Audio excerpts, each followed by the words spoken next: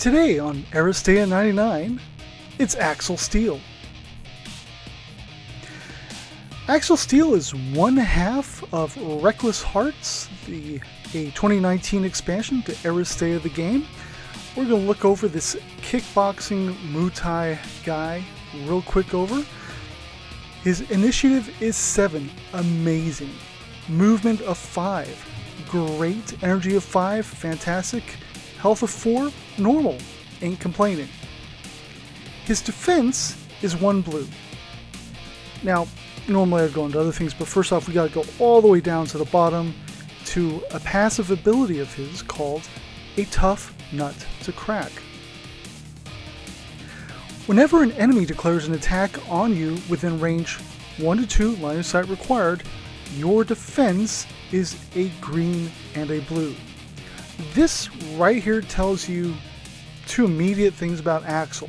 One, he wants to be up close and personal with whoever he's fighting.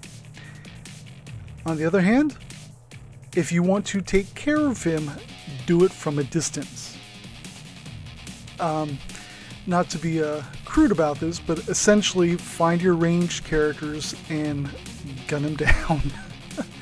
So that's your Wild Bill, that's your Major Luna. You could possibly use Hannibal, don't recommend it. Um, Lei Gong, the list kind of goes on from there, but you get the idea. He needs to be up close and personal to be at his best, but also to be at his safest. From there, we're going to look at his brawn roll. That is a blue and a yellow. Not too bad. Uh, the big thing here will be when we get to a switch. For his disengage, he gets an orange and an automatic success. He's got a very good chance of getting away. Now, like we said with the uh, Brawn, uh, for one bang, if you are adjacent to the target, displace yourself. Now this is actually very interesting because, well, you have to be adjacent to the target. So if you are um, attempting to stop someone from moving, that's when it's going to happen. If you are melee with someone, that's when it's going to happen. Um, it's kind of one of those fun things right there. It is a is it, displaces are nice. This is a little restrictive. Not necessarily a bad thing, but there you go. So we might as well go ahead and take a look at uh, his other orange passive ability, Footwork. You may displace yourself for each success you nullify with your defense, with your blocks, during the results of a uh, result step of a face-to-face -face roll, maximum twice per roll. So essentially, the better your defense is, well, uh, the more you actually get to displace yourself. This is actually kind of nice for one for him getting out of um, out of range of somebody in this situation. Um, so it's not necessarily. Uh, it could happen while you're um, someone's ranged attacking you. Um, that is entirely possible. But he's going to get the most out of this when a tough nut to crack is in effect, meaning he's in melee. Now you can decide to, hey, I am going to disengage from this person. Absolutely a perfectly valid thing to do.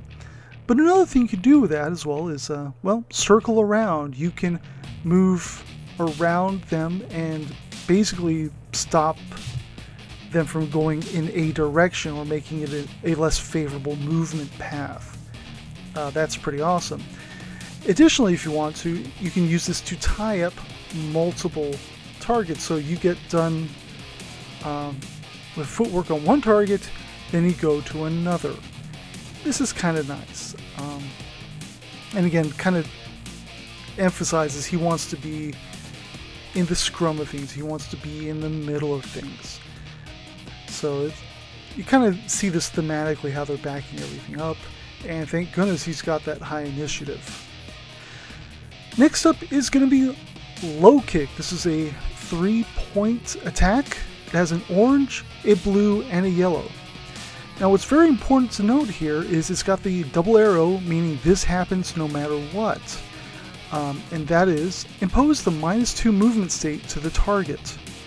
So you are going to use this basically to, um, obviously you want to try and do damage, that's always a good thing.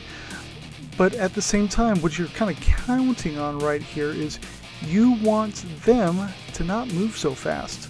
So you can go up to Musashi, whack him, and possibly get away from Musashi before he really has a good counterattack. Uh, do notice there is a blue in there, so that does mean he gets um, a little bit of defense in here. Likewise, there is a yellow, and if you're in range to use low kick, well, you're in range for the bang to let you displace yourself. After that is a two-point attack, left, left, right. That's a red, a yellow, and a yellow. So you've got some damage potential here, sure, but the bigger thing is the double bang switch. Impose the stunned state to the target. Uh, stunned is a terrifying uh, disability uh, state to have on some characters, especially if they're particularly sensitive to needing that one success. Um, a lot of the support characters, for instance, will have abilities that the odds are not utterly fantastic to get two successes, and this can help shut them down. Uh, likewise, with any offensive character, well, you get rid of one success. Some of them, like say uh, Wild Bill, for instance, has got that automatic success from the get-go. Very nice. Additionally, there are other characters that will make use of the stun states, uh, whether it's final boss and moving around. Uh, Major Luna, one of her tactics, will give her additional damage on it, so on and so forth. These are really good things to keep in mind. So let's go on to his tactics. First off, we got Uppercut. During the action step of Axl Steel's activation, love this one, inflict one damage, one wound to a target adjacent to you, displace it. So it is automatic damage, uncontested damage, something I love. But you also have an, basically an uncontested displacement. Uh, you want to use this ideally either to give yourself some breathing room or to push them next to somebody they're really going to have problems with. Um, so maybe someone, uh, another melee powerhouse, maybe someone who is really good at keeping you stuck in one place. Uh, perhaps getting them right in range for uh, a long distance person or out of the range of say someone's minimum range. So while if they're adjacent to Wild Bill, you hit them with this, uh, with Axl, and you get them just far enough away that what? Bill can open up, or Major Luna, or whoever. There's a lot of uses for that, um, and just the abilities like, hey, you, my enemy, I'm going to displace you. Now, if you had to, you could also use this to displace a friendly. This is only uh, saying it's for targets adjacent to you.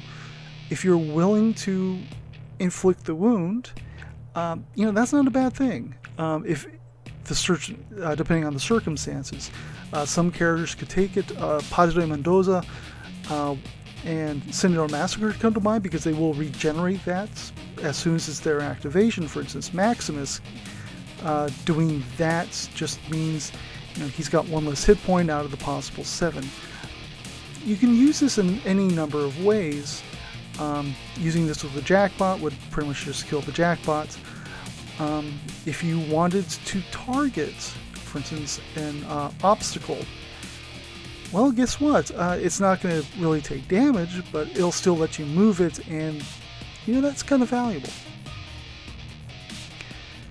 After that is going to be hit the liver during the action step of Axl Steel's activation. Until the end of the round, your left left right attack gains a switch. Bang bang! Impose the minus two injury states to the target. Now, I think this is actually the uh, first. Uh, Axl's the first character who can do this intentionally. Uh, Bachmann can if there's one for him to work with. Um, but and there are characters who can impose it on themselves after doing something sufficiently awesome. Uh, Shona would be a great example with Amputate. But Hit the Liver is the first one that actually lets you impose it to someone as a uh, debuff, a, and you just need to have Axl. And the nice thing too with uh, left, left, right is okay. It's got the two yellows, so great chances, especially when you couple it with the red, of getting this to happen. But it's also a two-point attack, which means, well, uh, you could do it twice if you had to.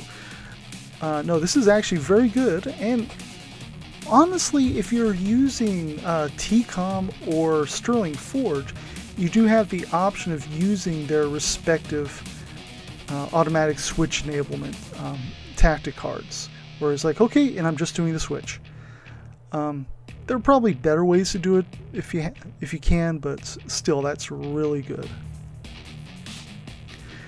After that, this shark still has teeth before making a defense roll with Axl Steel. Until the end of the round, you may add a red, this is very unique, a red die to your defense rolls against any target within range 1 or 2 line of sight required, or you may add 2 uh, blocks to your defense rolls against any target within minimum range of 3. Wow, my gosh. So um, you've got really two ways to look at this. So if you want to, um, and they're within 1 2, you can use this to add some punch to your defense. Um, a red is fantastic for that. Uh, good chances of success, plus you got the critical possibility. Um, but more than that is okay. So if they're uh, one, two, or three, you can just go ahead and say, you know what, the heck with it. I'm just going to add two blocks automatically. That's pretty huge for him, I'd say. Um, and also that is going to tie in with uh, his switch in footwork in that it'll let him displace himself as well because um, you get two more blocks which means hopefully up to two more nullified successes uh, certainly Musashi could put out two successes no problem um, and that is a really really awesome thing uh, right there and again just if you need to get a little more punch in you know the opponent has got one health remaining, you know, might be worth it to add a little bit of teeth to it. Finally, saved by the bell. During the de declaration of an attack in which Axl Steel is the target, the action performing and its effects are nullified.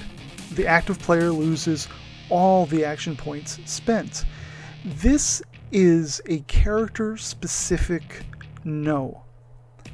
Um, that's pretty awesome. But more, it's not really. It, it's a no. Uh, it's only for Axl, and um, it is for actions. It's not for tactics, and that's kind of a interesting distinction. So this is not only uh, character specific; it's only for Axl, but is a no to an action. So if someone is going to be using, um, you know, say Musashi is going to go ahead and use his big attack, uh, this would be a no to that. If Wild Bill shoots at him, well, you know, that's an that's an action. We're to stop that. Um, it is not usable on tactics, as far as I can tell. Although I think uh, with Shona, there might be exception because her tactics give her what actions. So this is a very powerful card, um, but I don't feel it's overpowered. It is the sort of card that, you know, you may want to find a way to fish back out. Uh, that's just such a sweet effect right there. Um, having Wild Bill on your team would be a great way to do it. Um, having TCOM might, uh, just letting you reshuffle everything might be a way to do it. But yeah, wow, that's pretty pretty awesome.